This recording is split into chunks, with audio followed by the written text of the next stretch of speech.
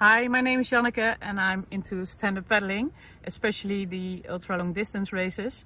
I did uh, non-stop uh, a few times before and uh, I made a video compilation about the races I did because I'm not very good in this. Uh, so uh, with the compilation I try to show you what the, a ultra-long distance race uh, means for me. I had great people with me during those races and together we made uh, well one big adventure. It's uh, well memories for life. Uh, and maybe it's inspiring you to do a ultra long distance race yourself. And if so uh, good luck with the preparations. Um, and when you have some questions please contact me and I will try to answer uh, all your questions. And in the meantime just keep on paddling. Enjoy the time on the water and I will hope to see you soon uh, somewhere. Bye bye!